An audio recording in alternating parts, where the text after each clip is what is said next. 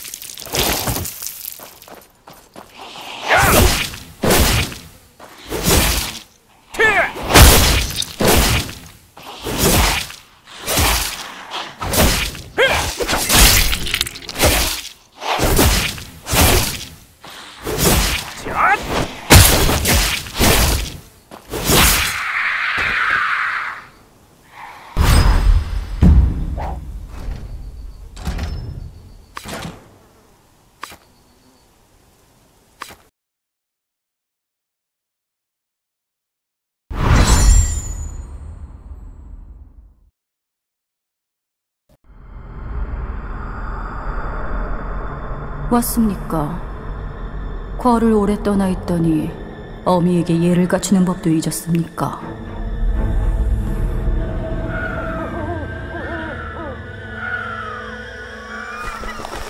상주에서 오시는 길이지요.